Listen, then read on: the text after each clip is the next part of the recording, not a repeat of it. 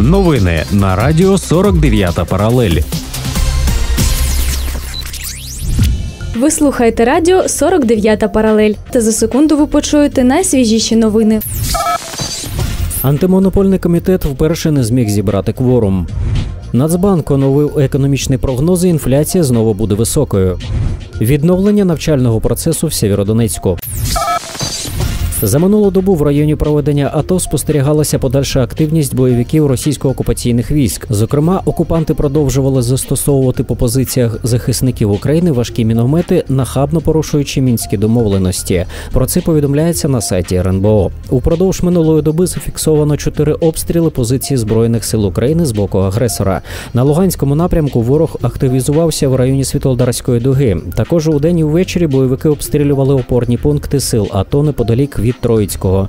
Всього по нашим оборонним укріпленням незаконними збройними формуваннями було випущено понад півсотні мін різних калібрів. В результаті ворожих обстрілів ніхто з українських військовослужбовців не постраждав.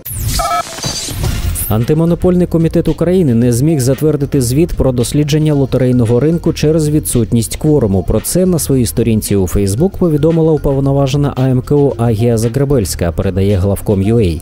За її словами, АМКУ протягом 9 місяців досліджував лотерейний ринок. 1 лютого звіт про дослідження мали затвердити на засіданні і потім презентувати громадськості. Однак для цього не вистачило кворуму, але звіт таки був презентований.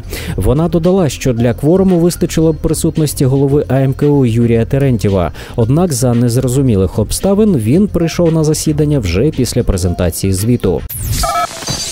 Протягом минулого року ВВП України зріс на 2,1%, а інфляція становила 13,7%, повідомляє TSN.UA.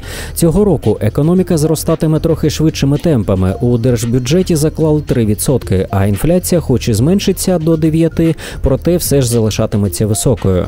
Тим часом у Нацбанку переглянули свої прогнози і зазначають, що у 2018-2020 роках споживча інфляція знижуватиметься і поступово повернеться до цільових показників. Однак цей процес триватиме довше ніж очікувалося раніше. Інфляція повернеться у цільовий діапазон у середині 2019 року. Сьогодні, 2 лютого, надзвичайною протиепідемічною комісією при Сєвєродонецькій міській раді було прийнято рішення відновити навчальний процес в загальноосвітніх та позашкільних навчальних закладах відділу освіти Сєвєродонецької міської ради з понеділка 5 лютого 2018 року. Наступні новини вже незабаром на Радіо 49 Паралель.